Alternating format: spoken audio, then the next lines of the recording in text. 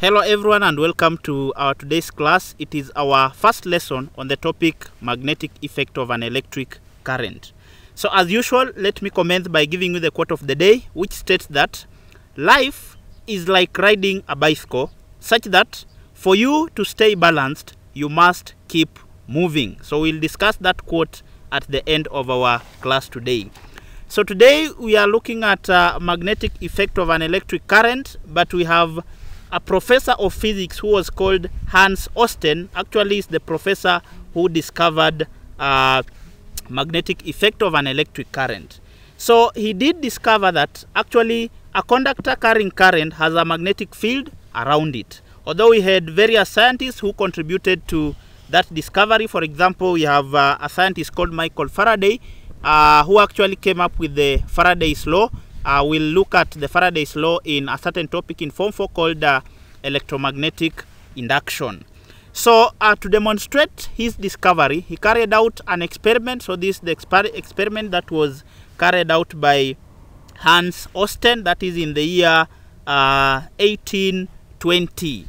So the experiment is to investigate the magnetic effect of, an, of a current flowing through a conductor. So the apparatus required are one direct current power source. This is our direct current power source. Then uh, we also need connecting wires. These are our connecting wires. Then of course we also need a switch. This is our switch. Then uh, a rheostat or sometimes we call it a variable resistor. Then uh, we also have two magnetic compasses. So you have this our first magnetic compass, then our second magnetic compass. Then of course you also need an ammeter for recording the amount of current flowing through the circuit. So the procedure that he followed was one, you set up the apparatus as shown in this diagram, then you hold the wire over but in line with the compass needle A. So you take the wire, this wire should pass, uh, hold the wire over but in line with the compass needle A and in line but below compass needle B. So you pass this wire in such a way that it is passing over or above compass needle A, then such that it is passing below the compass needle B. Then after that, you close the switch, that is, uh, you close this particular switch uh, and observe the compass needles. Then you vary the strength of the current using, of course, the rheostat or the variable resistor and note the effect of the needle. That is, observe the deflection of the needle. Then after that, you repeat the experiment with the battery polarities reversed. Huh? You now reverse the positive terminal, you reverse the connection of the positive terminal and the negative terminal. Remember, whenever you reverse the polarities of the battery, that means the, the direction of current of flow uh, will also be reversed. Now, to predict the direction in which the needle A and B or the compass needles A and B will deflect, he needed what we call the Ampere's swimming rule. So the Ampere swimming rule states that if one imagines one is swimming along a wire in the direction of the current and facing the compass needle, then the north pole of the needle will be deflected towards the swimmer's left hand. That if you imagine that you're actually swimming along the direction of the current. So if this is the positive terminal, then it means the current will always flow in this direction. Remember the larger bar always always represents the positive terminal while the smaller bar represents the negative terminal of the battery or of the cell. Now if this is the larger bar then it means the current is flowing in this particular direction. So the Ampere swimming rule is uh, requiring us to imagine that a person is swimming along this uh, in the direction of the current and along this wire then uh, that if such a person is moving in the direction of the current that is and facing the compass needle then the north pole of the needle will be deflected towards the swimmer's left hand. Now imagine you are you, you are the person swimming along this wire in this direction of the current.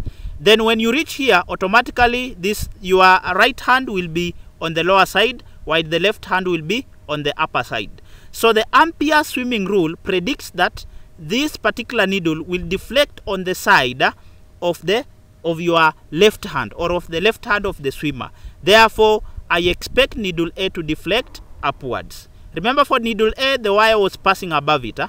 But if you connect it in such a way that the wire is passing below, now the needle B, now the direction of deflection of the needle actually reverses. So if this one deflected upwards, then automatically for B, the needle would deflect downwards. Now, he also tried the experiment after reversing the polarities. That is, if we connected these uh, cables or the, the, the battery in such a way that the positive terminal becomes on this other side, then the negative terminal on the other side, then if the positive terminal was here, it means the current will now be flowing in this particular direction. So if you imagine that you are the swimmer, if you are swimming in this particular direction, that is along the direction of the current, then when you reach here, actually your, your right hand will be upwards and your left hand will be downwards. Then also for this case, your right hand will be on the upper side and the left hand will be downwards. So he predicted that the deflection of this particular needle will be downwards according to this experiment. That is the deflection of the needle should always be towards the left hand side of the swimmer. So needle A will deflect downwards if the polarities of the battery are reversed or if the current was moving from this particular uh, terminal, if the current was moving this way, then needle A, remember needle A, the wire was passing above it. Huh? The wire was passing above needle A. So the left hand will be downwards, that is if you are swimming towards this direction, then the right hand will be upward. So I expect needle A to deflect downwards. Then of course needle B will deflect in the opposite direction. Automatically needle B will deflect upwards. Needle B will deflect upward. So once again, we said that uh, the Ampere swimming rule states that if one imagines one is swimming along a wire in the direction of the current and facing the compass needle, then the north pole of the needle will be deflected towards the swimmer's left hand. Next, we look at uh, what we call the Maxwell's screw rule. We look at what we call the Maxwell's screw rule. So of course screw rule because the experiment itself is involving a screw. So the Maxwell screw rule states that if a right-handed screw is driven forward in the direction of the convectional current, then the direction of rotation of the screw is the direction of the field lines. Now imagine that this is your screw then you want to drive it forward. That is rotation of the screw. That is you are rotating it in the direction shown by this particular arrow here. So if you are rotating the screw or you are uh, driving the screw forward such that it is moving downwards then the direction of the rotation of the screw will be similar to the direction of the field lines. That is what simply the Maxwell screw rule is, is stating.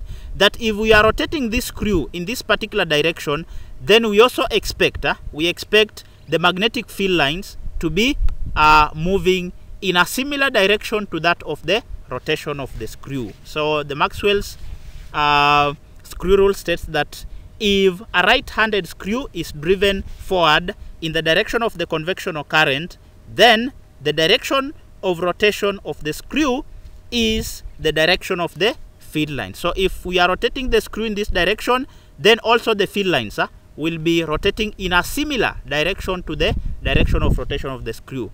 So if we were rotating it maybe in this other direction, then we, we will expect the field lines to move in the opposite direction. But the most important thing here to note is that uh, the direction of the rotation, uh, of the forward rotation of the uh, screw line is also the direction of the rotation or the direction of motion of the field line. So once again we've said that uh, the Maxwell screw rule states that if a right-handed screw is driven forward in the direction of the convectional current, then the direction of rotation of the screw is the direction of the rotation of the field line. So if the screw is rotating in the in this direction, this is the clockwise direction, then I also expect the field lines to rotate in the clockwise direction. So this is the direction of uh, motion of the current. So the current is downwards. This is a straight wire. Then direction of the magnetic field.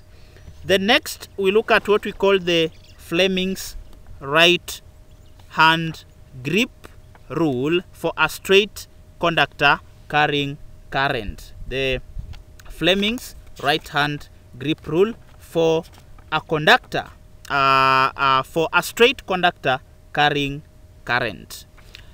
Now, the Fleming's right hand grip rule for a conductor, for a straight conductor carrying current states that um, if a conductor carrying current is grasped in the right hand with the thumb pointing along the wire in the direction of the convectional current, comma, the fingers will point in the direction of the field magnetic field. So that is what the right hand grip rule actually for a straight conductor carrying current states. That if a conductor carrying current is grasped in the right hand with the thumb pointing along the wire in the direction of the convectional current, the fingers will point in the direction of the magnetic field. Now, the, the first thing to note when you are using a right hand grip rule is that you should always use the, your right hand when you are grasping your conductor. So, assuming this is my conductor, then assuming the direction is flowing in this, uh, the, the current is flowing in the forward direction, that is as indicated by this particular arrow, then the right hand grip rule is instructing us that if a conductor carrying current is grasped, that is to grasp is to hold it. Huh? As you can see, the, the right hand is holding this particular conductor, of course, with the current. That if a conductor carrying current is grasped in the right hand with the thumb, remember this is the thumb, with the thumb pointing along the wire in the direction of the convectional current. So if this is my direction of the current, then I will point my thumb in the direction of the current. Then the right hand grip rule predicts that the fingers will point in the direction of magnetic field. So uh, if my thumb is pointing along the direction of the current, then this is my right hand. Then as you can see, my fingers are pointing in this direction. So the direction of, of curling of my fingers here represent the direction of the magnetic field. So in this case, the magnetic field will be moving in this direction. They will be moving in this particular direction. That is along the direction of my fingers here. So the curling, the direction of curling of the fingers represents the direction of uh, magnetic field. So once more, we've said that the Fleming's right hand grip rule for a straight conductor carrying current states that if a conductor carrying current is grasped in the right hand with the thumb pointing along the wire, uh, pointing along the wire in the direction of the convectional current, comma, the fingers will point in the direction of the magnetic field. Then you also remember it must be the, the right hander ah? because if you try it the same same rule but using the left hand, the direction will actually be opposite. So you have to be careful. Huh? You must use the right hand. Now we can also demonstrate the same now indicating the direction of the magnetic or the direction of the magnetic field or the direction of the magnetic field lines. Remember the direction of the magnetic field will be same as the direction of magnetic field lines huh? because the magnetic field lines or the lines of force are the ones that form the magnetic field. So the direction of the magnetic field line is automatically the direction of the magnetic field. So if I apply the same same rule that if if this is my right hand, uh, actually try with your right hand, you realize that actually the rule does work.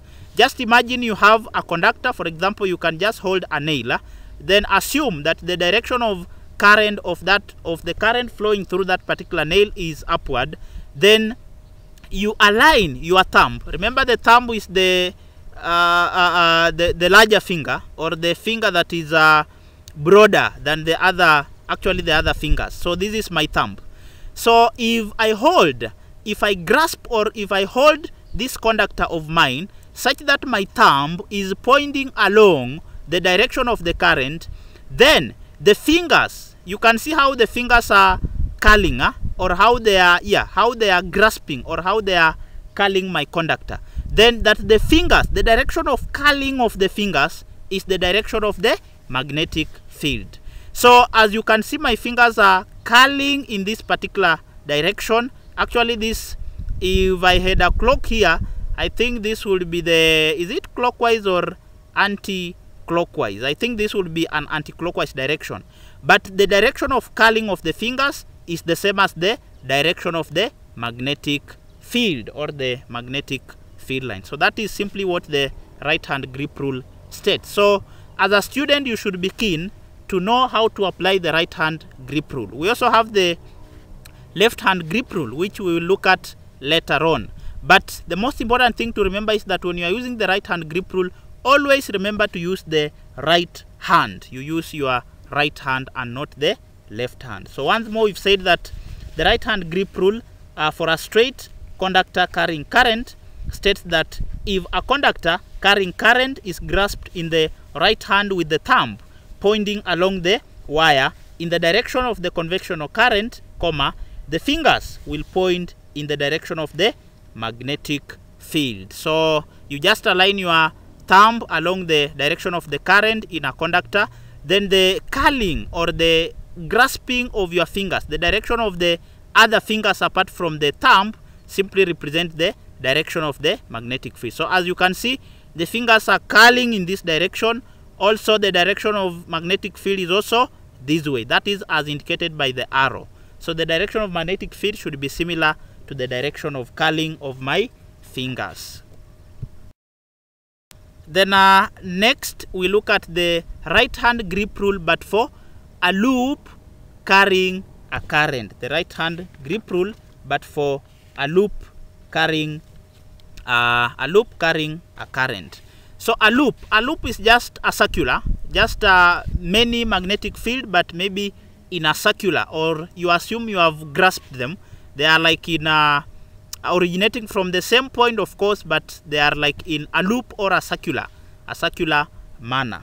Now the right hand grip rule for a loop carrying uh, a current states that if the fingers of the right hand encircle the current loop such that they point in the direction of, of current comma the thumb points in the direction of the magnetic uh, field formed through the inside of the loop through the inside of the loop so actually the right hand grip rule is almost the same like for the straight conductor only that we are now using a loop a loop carrying a current so that if you just assume you are grasping huh? you are grasping actually these magnetic uh, field lines then of course your your thumb has to point in the direction of the current like for this case this is current in then this is current out. So automatically this means that the current is moving in this particular direction. That is it is entering through this end of the loop. Then it is moving in this direction. Then uh, actually it comes out uh, through this particular direction.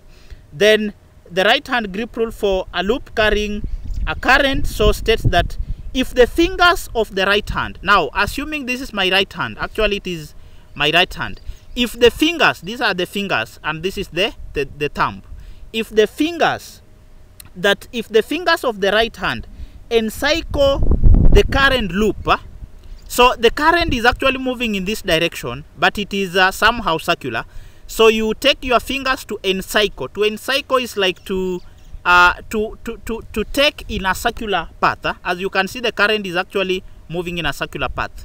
So you place your fingers in such a way that they are aligning with the direction of the current because the current is entering through here and leaving through the other end. So if the current are entering through this direction, I also curl or uh, make my fingers in such a way that they are encircling the current loop. That if the fingers of the right hand encircle the current loop such that uh, they point in the direction of the current. Now, remember this is the direction of the current. This is current in, then this is current out.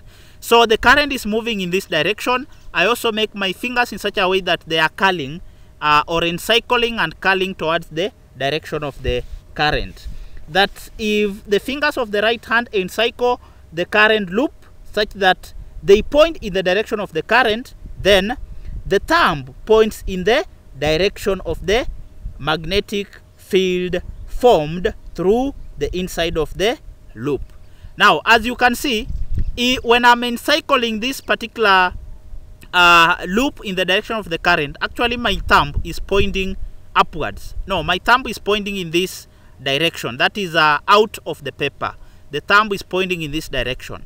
So the direction of pointing of the thumb will represent the direction of motion of the what? Magnetic field or the magnetic field line. That's why you are seeing me indicating the arrow or the direction of the magnetic field lines to be actually in alignment with the direction of the thumb. So once more we've said that uh, the right hand grip rule for a loop carrying a current states that if the fingers of the right hand encircle the current loop such that they point in the direction of the current, comma, the thumb points in the direction of the magnetic field formed through the inside of the loop, through the inside of the loop.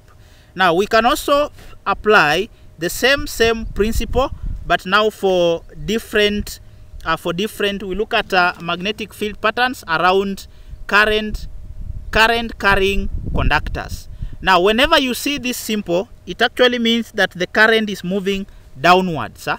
That is the current is moving inside the paper. So we assume the current is moving downwards. If it was in uh, three dimensions, I will be able to show you clearly.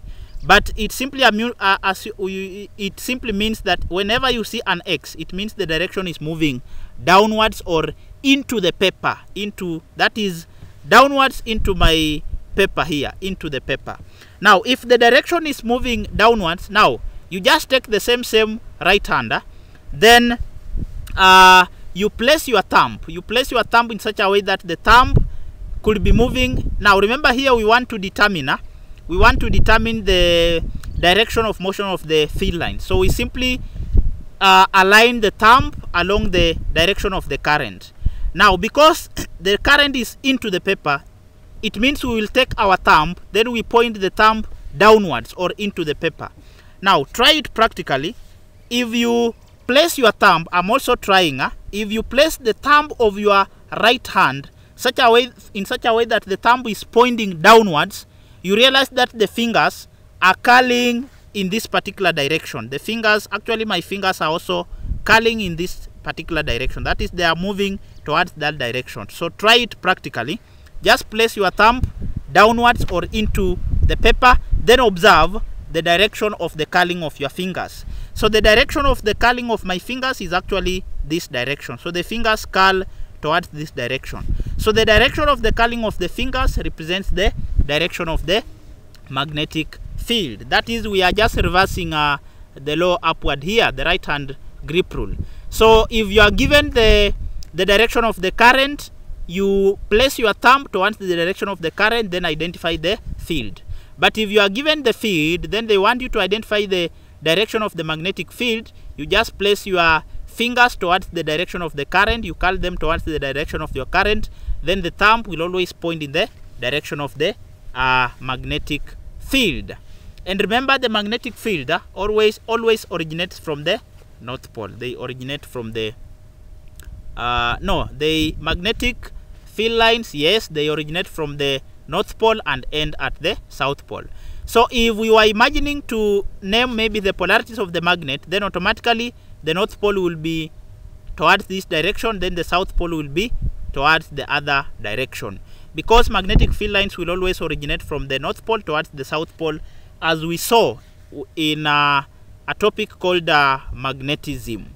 Maybe if you can't trace it clearly you can just review our first lesson on the topic magnetism then actually you will see that uh, uh, the field lines you look at the properties of the field line that is how they move and also how they do behave if i apply the same same here now whenever you see a dot this one means that the current is moving upwards or out of the paper, out of the paper. So in physics, if we want to represent that the current is moving out of the paper, we represent it with a dot.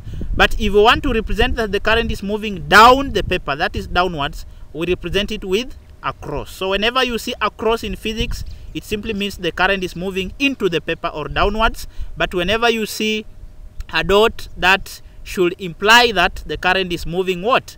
upwards or outside the paper. Now, for this case, if the current is moving upward or outside the paper, then it means we will have to align our thumb to be more pointing upwards. Now remember, it is strictly the thumb of the right hand. If you try the thumb of the left hand, you will get opposite results. So you take the thumb of your right hand, then you position it upward. Huh? You just position it upward, then observe the direction of curling of your fingers. That is the first finger, the second, the third, and of course the fourth finger.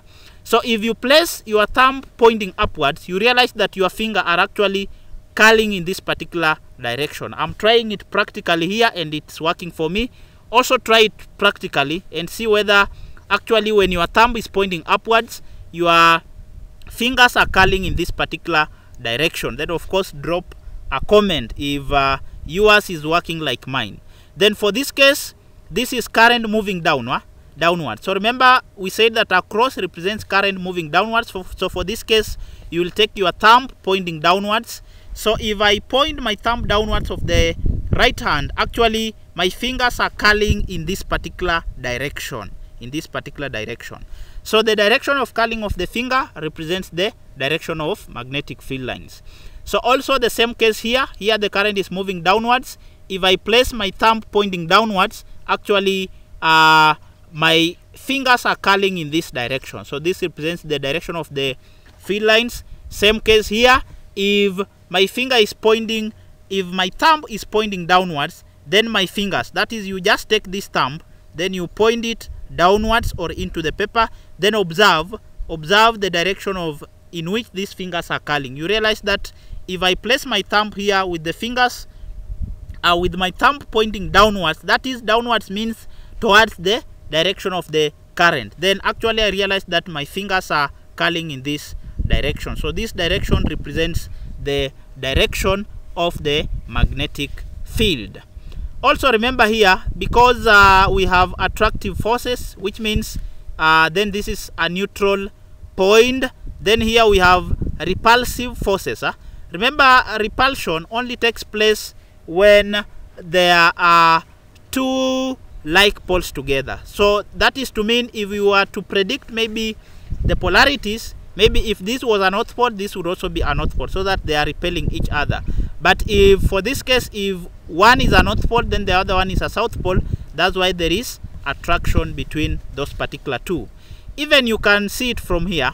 Actually here, the fields are moving in this direction. Huh? But here, the fields are moving in opposite direction. Meaning the polarity here if I was to place my polarities here this will be there will be uh, a north pole here because the magnetic field lines move from the north pole then a south pole here. Then here automatically there will be a south pole here and here a north pole because the magnetic field lines from move from the north pole towards the south pole. Now remember uh, since we could be having a north pole here then a south pole here remember a north pole and a south pole will always attract each other. Also here if field lines are moving in this direction it means this one represents a north pole then field lines are moving towards uh, that is they are entering towards this region. Then this will represent a south pole. Then a north pole and a south pole will always attract each other. That's why we have attractive forces here. Contrary here the direction is moving upwards. Also the direction of field lines is moving upwards uh, meaning the north pole is downward here then the south pole is upward here. So this is a north pole then there will also be a north pole down here. Now north pole and north pole will always repel each other because from the law of magnetism we did say that uh, like poles repel comma and like poles attract each other. So because of the repulsion that's why we are talking of what? Repelling forces or repulsive forces Next, we look at uh, an electromagnet. We look at an electromagnet. Now, what is an electromagnet?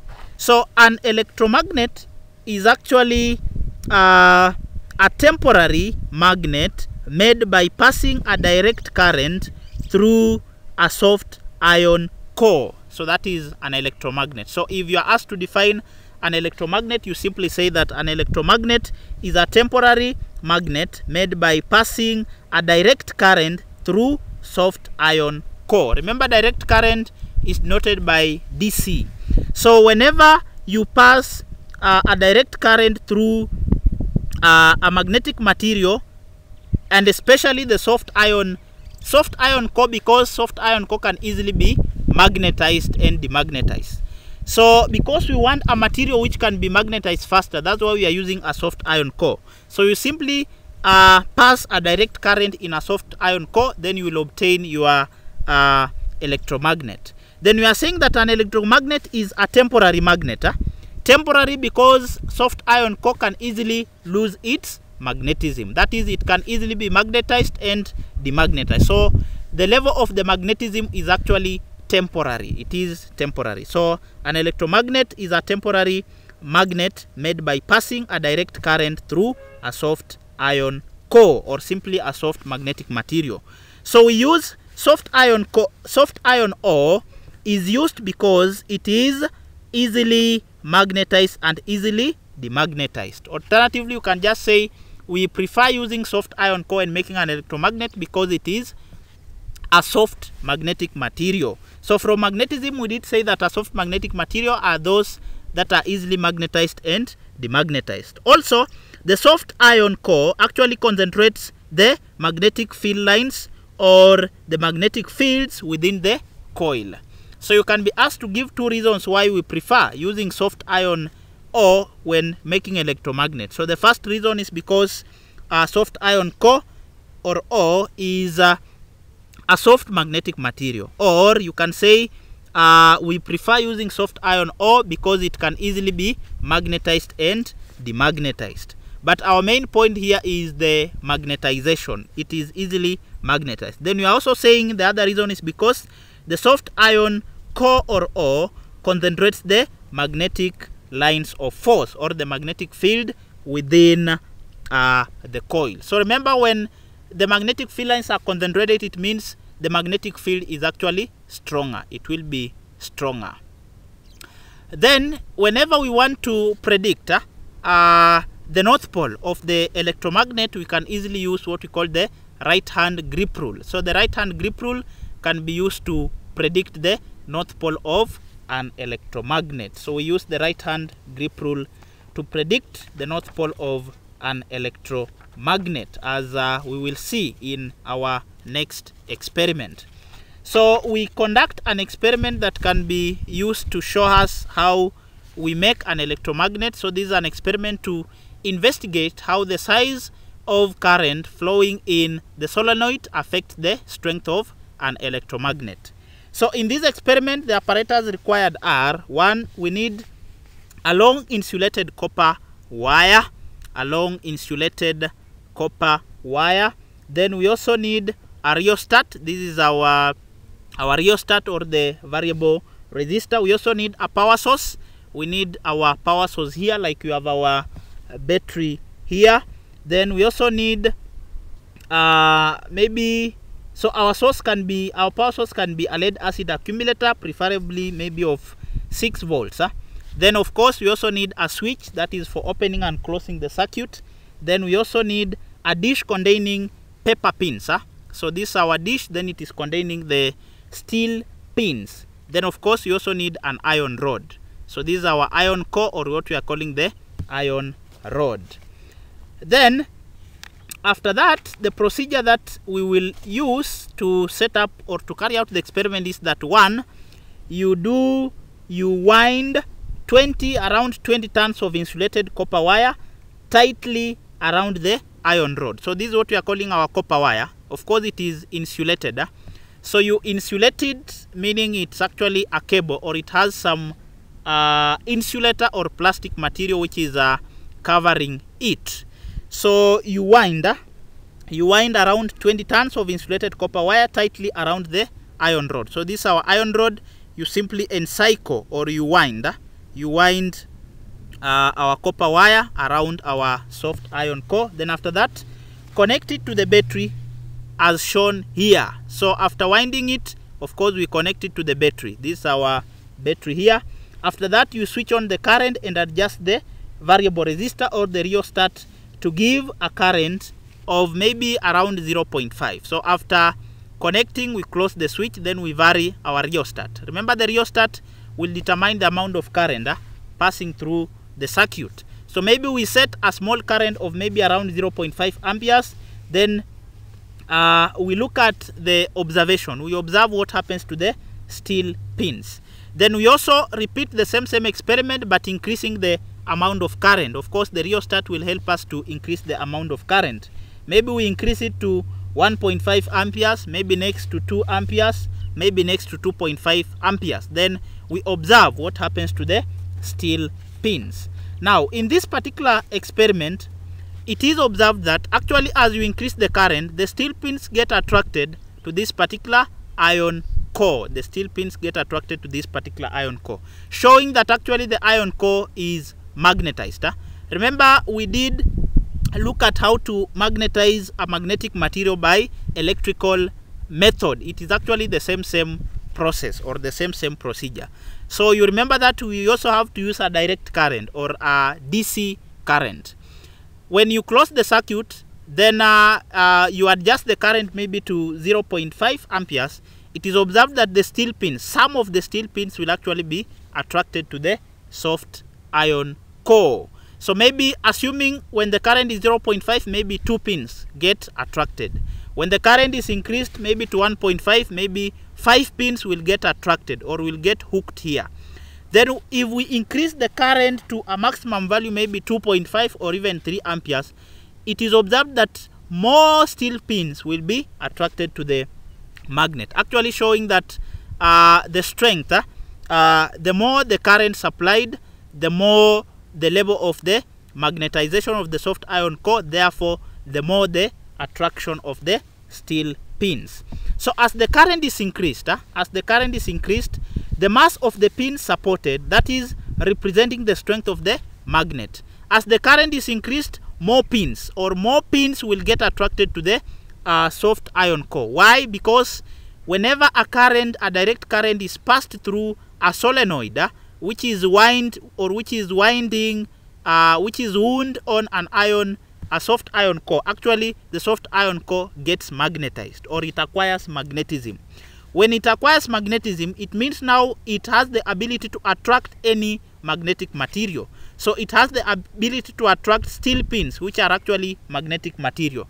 Now remember, in this experiment, we are using steel pins strictly because steel pins, uh, we categorized steel under the hard magnetic material. That is, they take a lot of time to be magnetized, but once they are magnetized, they retain their magnetism. So if you take a steel pin, once it is held here, it actually retains the magnetism for some time. So it clings here for some time.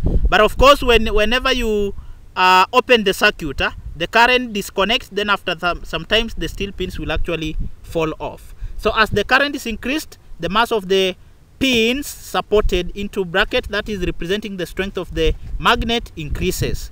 So beyond a particular value, however, the strength of the electromagnet remains what? Constant. So you can supply the current, you supply the current up to a maximum value. So the, the magnetism of the soft iron core gets to a maximum value. Remember in the domains theory, what we used to call the magnetic saturation. Huh? So it reaches at a point whereby even if you uh, continue increasing the current, actually the magnetism will not increase because such a material has reached what we call magnetic saturation. So as the current is increased, it is observed that the mass of the pins supported, which are representing the strength of the magnet, also increases. So as the current increases, more pins get clinked here or attached here because as the current is increasing, the soft iron core is becoming more magnetized. It's becoming more magnetized. Remember, if we were to plot a current, uh, a graph of uh, maybe the strength of the magnet and the amount of current, then the strength of the magnet will be directly proportional to the amount of current, meaning we'll obtain a straight line graph through the origin, through the origin. So of course representing the direct proportionality. So as the strength of the current increases, also the strength of the magnet increases. But that graph will reach at a point where it flattens. Huh? That is where the soft iron core has reached what we call magnetic saturation. So remember, if a material reaches at magnetic saturation, even if you continue supplying the current, the current will not increase the magnetism. The current won't increase the magnetism because all the dipoles have fully aligned. So next, we look at uh, the factors affecting the strength of an electromagnet. What are the factors affecting the strength of an electromagnet? So the first factor affecting the strength of an electromagnet is the number of turns of the coil. That is, uh, this is my coil. Huh? The number of turns of these particular coils affects the strength of the electromagnet. That is, determines how strong the electromagnet will actually be magnetized. So of course, the more the number of turns of coil, the stronger the electromagnet. So if you want if you want your electromagnet to be stronger, you actually use more turns. Huh? So that is that means you use a larger or along a copper wire, then you wind it. You make as many turns as possible because the more the number of turns, the more the strength of the electromagnet. So the first factor affecting strength of an electromagnet is the number of turns of the coil, the number of turns of the coil. Then you are saying that uh, the strength of an electromagnet is directly proportional to the number of turns of coil. That is to mean the more the coils, the stronger the uh, electromagnet, the fewer the number of turns of the coil, the fewer the strength of the electromagnet.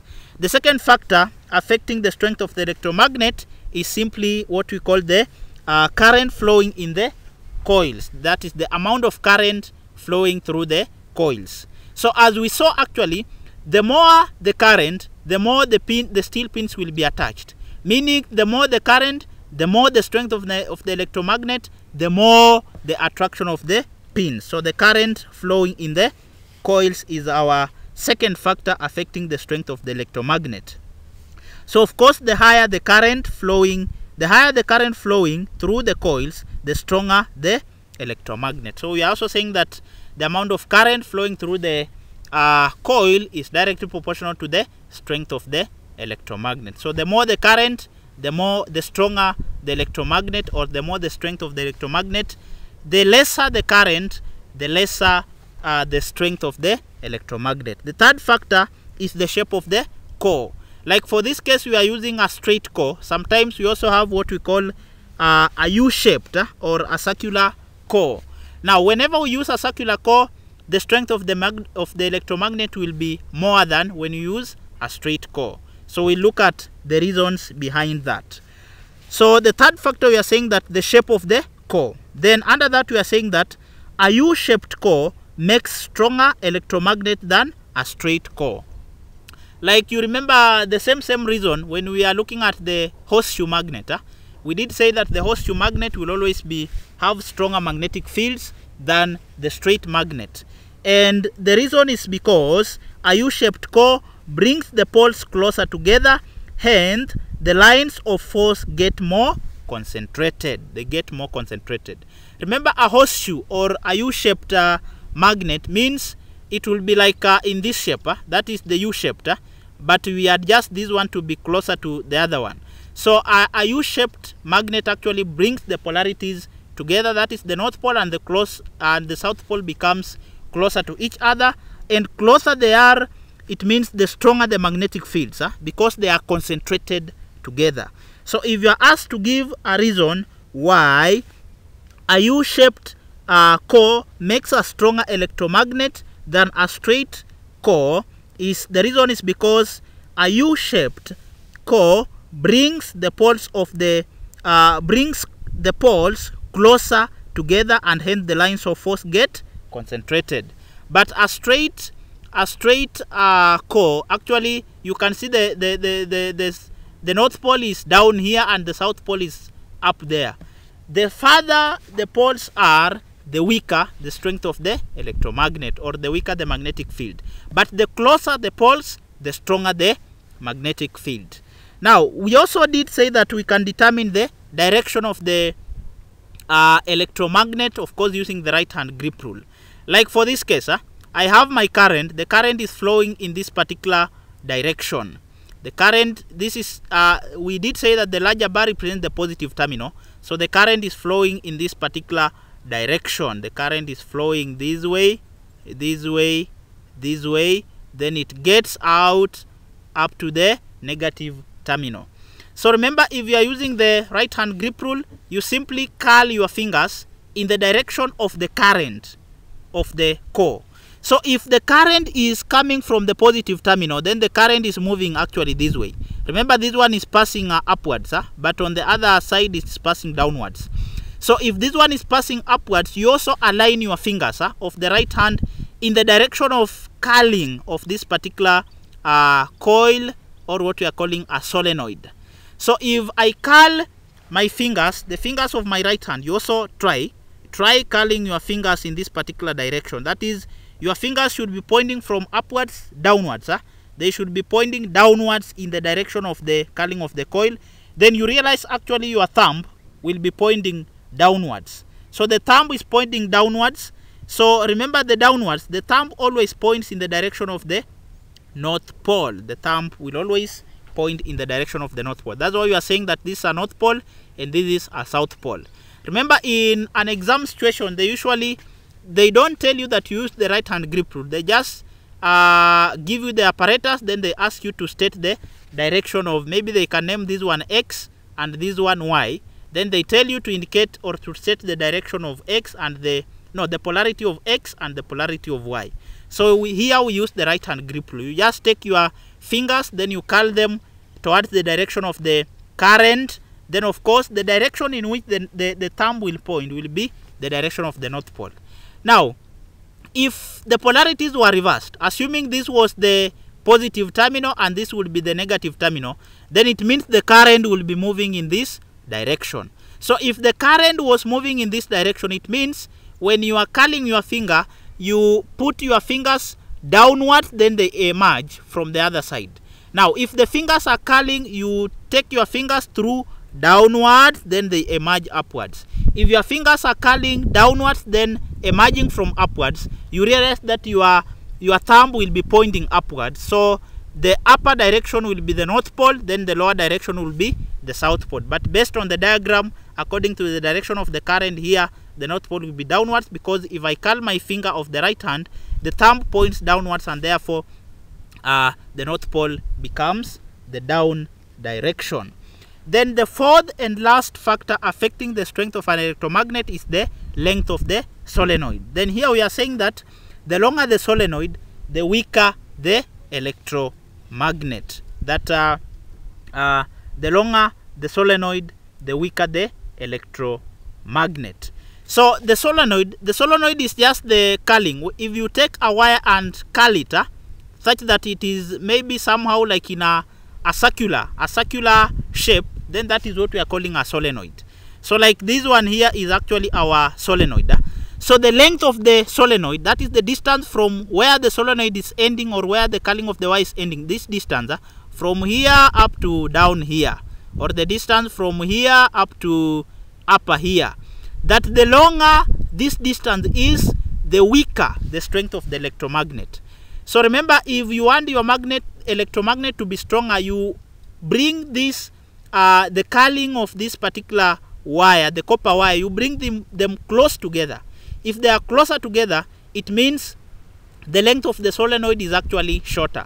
So the shorter the length of the solenoid, the stronger the magnetic field or the stronger uh, the electromagnet. But if the length of the solenoid, that is the distance of the curling, that is the distance from here of this particular wire up to here, the longer that distance is, the weaker the strength of the magnet. Then uh, uh, the shorter, the shorter that particular length of the solenoid is, actually the stronger the electromagnet. So we have said in summary, we have said that the four factors, the four factors affecting uh, the strength of the electromagnet are one, the number of turns of coil. The explanation is that the more the number of turns of the coil, the stronger the electromagnet. Then two, we have talked of the current, the amount of current flowing in the coils. Then we have said that under that, the higher the current flowing through the coils, the stronger the electromagnet. The third factor was shape of the core. Then we've said that uh, a U-shaped core makes stronger electromagnet than a straight core. Then the reason we have given is because a U-shaped core brings the poles closer together, hence the lines of force get concentrated. Then the last factor was then the length of the solenoid then we have said that the longer the solenoid actually the weaker the electromagnet the weaker the electromagnet. Then lastly we look at what we call force on a current carrying conductor in a magnetic field. The force uh, on a current carrying conductor in a magnetic field. To predict that force we use what we call the Fleming's left hand rule also called the motor rule.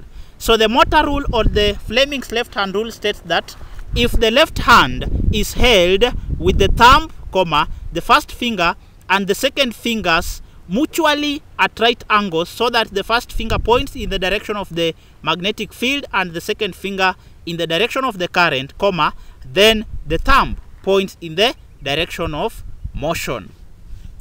Uh, so uh, remember in the Fleming's left hand rule we strictly use the left hand. We use the left hand. Remember in the right hand grip rule we were strictly using the right hand. But if you are dealing with the uh, motors the left hand uh, uh, the left hand rule here we use the left hand. So this particular rule is saying that if the left hand is held with the thumb that is you hold your hand in such a way that the thumb is perpendicular to the first finger and also perpendicular to the second finger. You hold your hand in this particular manner. Thumb pointing upwards first finger in this direction then the second finger obviously in a normal situation it will be pointing towards this particular direction. So you hold them perpendicular. Perpendicular because if you try to estimate the angle between this particular that is this particular the thumb and the first finger and also the second finger this angle should be 90 that is what we mean by perpendicular or mutually at right angles. Right angle remember means uh, 90 degrees huh? so if the left hand is held with the thumb comma the first finger and the second finger mutually at right angles so that the first finger points in the direction of the magnetic field. So you take your first finger pointing in the direction of the magnetic field then actually uh, the second finger will point in the direction of the current. You take your second finger in the direction of the current. Then the thumb will always point in the direction of motion. So if i apply this particular rule here then if this is my north pole then this is my south pole then another point you need to notice that whenever you are given a magnet the north pole represents the origin of the magnetic field then the south pole represents the end of the magnetic field. So magnetic field lines will always originate from the north pole and end at the south pole. So the this is the direction of the magnetic field lines. So you take your first finger to point in the direction of the magnetic field lines then you take your second finger to point in the direction of the current.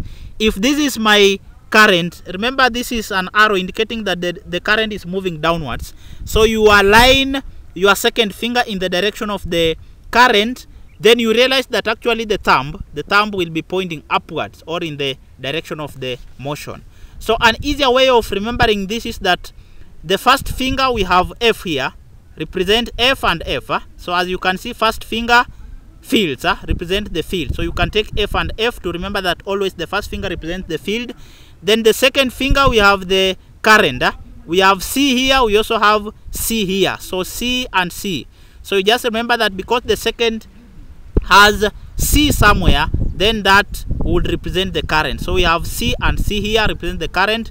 Then of course the thumb we have m here. We all, then this one is starting with motion. So m represents the motion.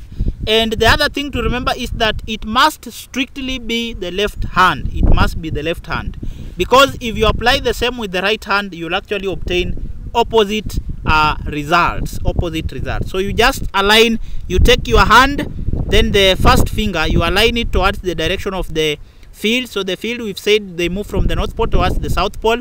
Then the second finger you align it uh, along the direction of the conductor but towards the direction of the current. Then observe the direction of motion of the, of the thumb where the thumb because for my case the thumb is pointing upwards then i expect this particular conductor to move upwards. The direction of the deflection of the conductor will be upwards. Then another point that i see students actually confusing is when to use the left hand uh, the left hand rule the fleming's left hand rule and when to use the fleming's right hand rule. Now, remember this the left hand rule, or also called the motor rule, is strictly used when we are dealing with uh, electric motors, when we are using with electric motors. So remember, an electric motor will always uh, convert, an electric motor will always convert electrical energy into mechanical energy. Remember, mechanical energy is categorized into potential energy and kinetic energy and kinetic energy. An example where an electric motor is applied is um, in the working in the working of the fan. Huh? That is the fan that is used in uh, houses or supermarkets or in shopping malls to reduce the temperature of the room or to cool the room or sometimes to increase also the temperature of the room. So those fans, huh? those fans they convert electrical energy into kinetic energy. So a material or a device that converts electrical energy into mechanical energy is what we are calling an electric motor. So when we are dealing with electric motors, we strictly use the Fleming's left-hand rule to predict the direction of motion of that particular conductor or sometimes the field and even the, the current. But when you are using an electric generator, remember an electric generator will always do the reverse of an electric motor. We've said that an electric motor will convert electrical energy into uh, mechanical energy. And we've said mechanical energy, uh, we can talk of kinetic and potential energy. So essentially we are saying that a motor will convert electrical energy into kinetic energy or into chemic, uh, mechanical energy. But a generator, an electrical generator, will strictly convert now the mechanical energy into electrical energy. Please do not confuse between these two. I'm saying that an electric motor will convert uh, uh, electrical energy into kinetic energy. An example, you have given a fan. If you see a fan rotating, it will only rotate if you are connected it to electricity. And the electricity is what we are calling the electrical energy. So the fan, the motor within the fan converts the electrical energy into kinetic energy, which is a mechanical energy. So whenever you are dealing with an electric motor, use Fleming's left hand rule. But whenever you are using an electric generator and you are saying that an electric generator will do the reverse of an electric motor, an electric generator converts mechanical energy into uh, electrical energy. An example of mechanical energy is the kinetic energy. So for example, you are saying that an electrical generator can convert kinetic energy, that is energy in motion, into electrical energy. A good example of an electrical generator is the bicycle dynamo. The bicycle dynamo will only work if the wheel of the of the bicycle is actually rotating. Because when the wheel of the bicycle rotates, it also rotates either the magnet or the contactor in between. Therefore, it converts the kinetic energy or the mechanical energy into electrical energy. For example, the electric motor can be used to the electrical generator or the bicycle dynamo can be used to light maybe the bulb of that particular bicycle. So a device that converts uh, uh, mechanical energy or kinetic energy into electrical energy is called an electrical generator. And whenever you are dealing with an electrical generator, strictly use Fleming's right hand rule. Use Fleming's right hand rule. And you have given examples.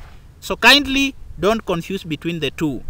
Electrical uh, electrical motor converts uh, electrical energy into kinetic energy. Then if you are using an electrical motor, strictly use the Fleming's left hand rule. But an electrical generator converts uh, kinetic energy or mechanical energy into electrical energy. Then if you are using an electrical generator, we strictly use the Fleming's right hand rule.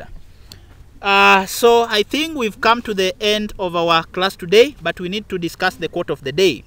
The quote of the day stated that life is like riding a bicycle, such that for you to stay balanced, you must keep moving. Now, what does this particular quote mean? The quote is warning us against feeling complacent or contented with what we have already achieved in our lives. Rather, uh, the quote is encouraging us to always stay hungry and motivated for the next opportunity that comes in our life. And always remember that whenever you attain a certain level in your life, there is always the next level. And that should be your motivation. And also, be careful not to waste your uh, your future opportunities for a temporary comfort. And lastly, never ever stop learning because life never ever stops teaching. So that is the end of our class today. Uh, now, dear my viewers, I know that it's been long since I posted a video, but you've always been supporting me, and I don't take that for granted. I've seen several comments of people wanting me to produce uh, more videos, and because of your support, I've seen it important to continue producing more videos. And uh, I promise to keep even uh, producing very many videos and quality videos. But I'll also beg you to hit the subscription button and also to turn on the notification bell so that whenever I upload a new video, you will actually be the first person to uh, get a notification. Actually, I'm very happy and very excited to be back and uh, let's keep this going. We are here to change lives. We are here to help students. Uh, if there is a concept that maybe you've not understood well, just drop a comment uh, in the comment section of this video and I'm actually going to help where uh, necessary. Thank you. Let's meet in our next class. This is Kind Tuition Academy.